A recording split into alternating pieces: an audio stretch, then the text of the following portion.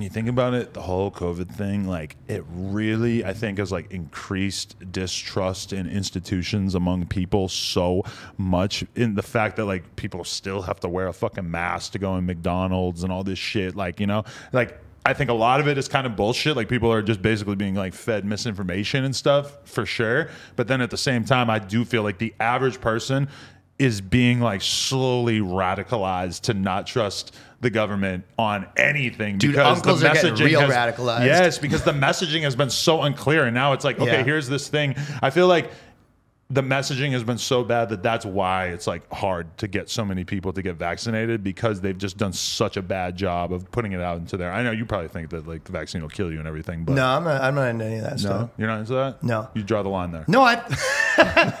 well, I just. Do you know what the the thing is? I feel like I've fairly like reasonable, like centrist takes on things. I do too, yeah, it's feel just like like, you're about you supposed too, to. yeah. It's like the what you're supposed to think is so crazy. I, I agree with you that the reason why people are so jazzed up Hmm. on all the like vaccine stuff is that it's like there's also this other part where they the the media kind of said, "Hey, if you don't take the vaccine, you're right wing," as a tactic to make people do it. But for half the country, they're like, "Oh, then I guess I don't take it because yeah, I'm right wing." Right. Like half Yeah. the, that's not an insult if you say it to someone in you know works in a steel mill in Pittsburgh. Like that's actually positive for him. Or like, okay, dude, with the mandates and stuff, that shit's pretty crazy because I, I have maybe 10 full time employees in here on a regular basis.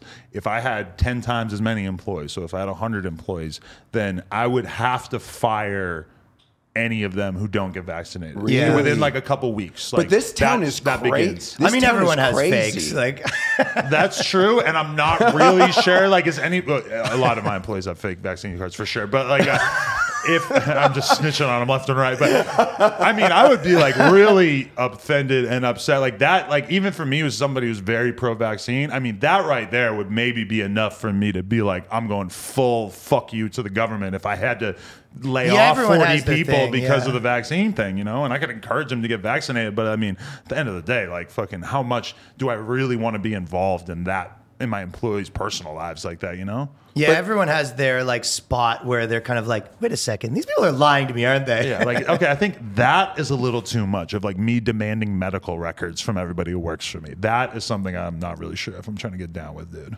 Yeah.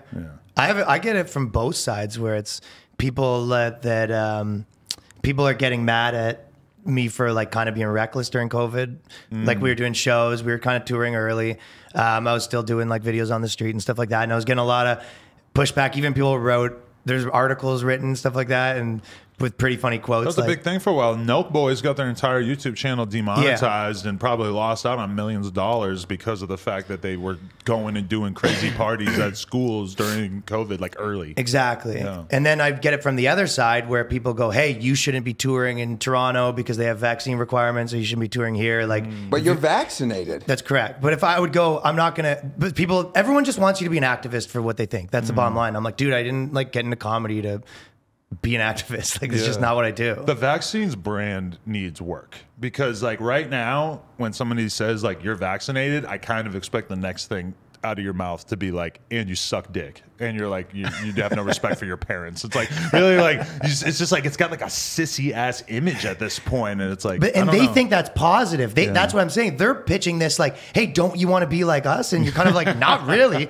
That's why JJ had to go back out of the closet or back in To the be hon- closet. to they be go, honest, they go, "Hey, gay guys, we're all vaccinated. You don't think the vaccine had something to do with No, you being gay? no. The one of the No, no. vaccines did. JJ. My mother was a whore. Early That's what it had to do. She was pregnant with me sucking other men's dicks. My dad, my dad told me. No, but this town is crazy because everyone's vaccinated and it's so fucking locked down still. Yeah. I don't get this city. Yeah, everybody who had their fucking businesses ruined and stuff are not exactly becoming like advocates for vaccine But even now, like uh, just going around the streets, I'm like, this city is like, and I'm like, again, I'm pro vaccine, I'm pro like be healthy, but this city's been pussified.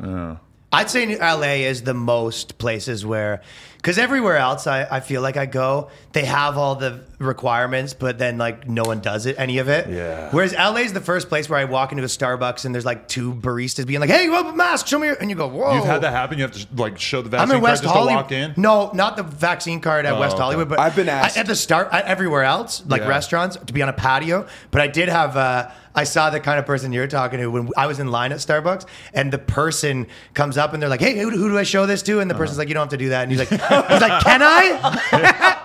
Yeah, like that. That's one thing I've He realized had it that. fucking in the queue, dude. He wanted to when, show it up. when you're pulling up to something, whether it's a club or a concert or a party or whatever, and you hear like, oh, they have this vaccine requirement, nobody gives a fuck. You have to be able to present something that's enough for them to like Yeah, yeah. be able to. This have, isn't like, crayon, you're pushing it. Yeah, yeah. If you have a, ca- a piece of cardboard with vaccine written in crayon, they might not let you in. But anything besides that, they're pretty like nobody is so invested in this. It's not like you're going to get ten years in jail if you let somebody into this bar with a fake vaccine card. And Yeah. so it's kind of like where where are you really going to draw But the line? this